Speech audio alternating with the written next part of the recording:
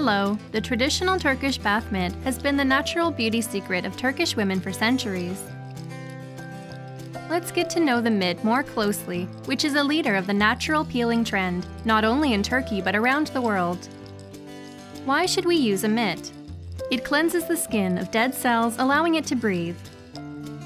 It accelerates blood circulation. It effectively delays aging with the renewal of the skin, it prevents spots on the skin caused by sunbathing. It helps to prevent cellulite formation and to remove cellulite by accelerating subcutaneous circulation with its massage effect. It prevents the formation of ingrown hairs by removing dead skin on the hair follicles. It cleans the pores and prevents the growth of bacteria and acne.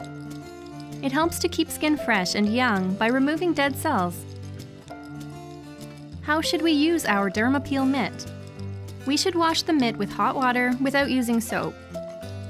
Without using soap or shower gel, we should wash our body with hot water and wait for a minute so that our skin becomes soft. After our skin softens, we can use the mitt without using soap or shower gel, with back and forth movements without pressing too hard. We should avoid circular movements while using the mitt. Meanwhile, dead skin will come off of our body, after the scrub is finished, we complete our bath with the soap or shower gel we normally use. It is ideal to use the scrub once a week, but it can be used more often in areas with cellulite. What is the most suitable type of mitt for our skin?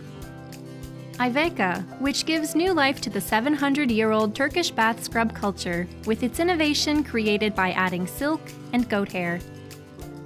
It responds to all the needs of its customers by producing a mitt suitable for every skin type. You can get the best Dermapeel mitt for your skin from the online sales channels you prefer. We wish you healthy days.